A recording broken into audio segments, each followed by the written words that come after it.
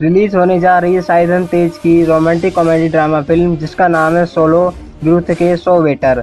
आज की इस वीडियो में आपको मूवी की confirm Hindi dub release date के बारे में बताऊँगा। तो फ्रेंड्स वीडियो को पूरी देखना और चैनल को सब्सक्राइब भी कर लेना।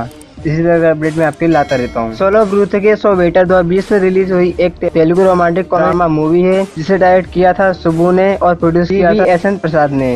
इस मूवी का बजट था पूरे 10 करोड़ और इस मूवी ने बॉक्स ऑफ़िस कलेक्शन किया था पूरे 20 करोड़ का। साथ ही इस मूवी को I M D five point eight की आउट ऑफ़ टेन की शानदार रेटिंग मिली हुई है और 88 परसेंट गूगल यूज़र्स ने मूवी को पसंद भी किया इसके लीड रोल में आपको नज़र आएँगे साइधरन तेज नवन तेज नाजिया डेविसन और विनेला किशोर। इस मूवी के हिंदी राइट्स को जी स्टूडियोज ने परचेज किया था और अब इसकी हिंदी डबिंग प्रोसेस भी कंप्लीट हो चुकी है। और अब ये मूवी हिंदी में रिलीज़ होने को पूरी तरह से रेडी है। इस मूवी की हिंदी डब रिलीज़ डेट भी कंफर्म हो चुकी है और ये मूवी आपको 11 जून को रात 8 बजे जी सिनेमा के टीवी चैनल पर देखने को मिलेगी। उसके बाद एक से दो दिन में ये आपको यूट्यूब पर भी देखने को मिल जाएगी। तो इन्फॉर्मेशन अच्छी लगी है तो वीडियो को लाइक करना और चैनल को सब्सक्राइब भी कर लेना। मैं मिलूँगा आपसे फिर से एक नई मूवी के अपडेट के साथ। जब तक के लिए bye bye take care and thanks for watching